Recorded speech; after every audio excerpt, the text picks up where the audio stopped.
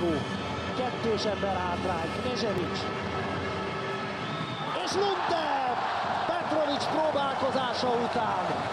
Négy ember ellen sem ment a mezőnybe. Hát a helyzetet kialakították. Csak az imént kérdezte, hogy miért kell Lunde.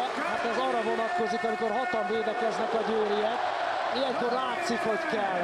Szenzációsan véd és Ambros Martin, Hornyák Dórát és Bognár Bódit is becseréli, nagyon úgy tűnik, sőt Sós Viktória is jöhet a pályára, Siriák Szedetke is.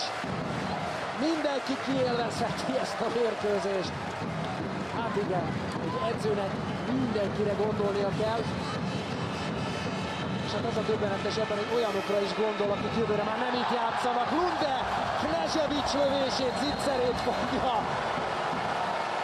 Katrina Lunde nem adja meg az ellenfélnek azt a nagy örömöt, hogy közelebb zárkózzon.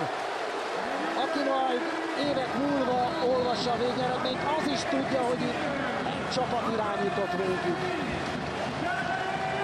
26-20 a Győrnek.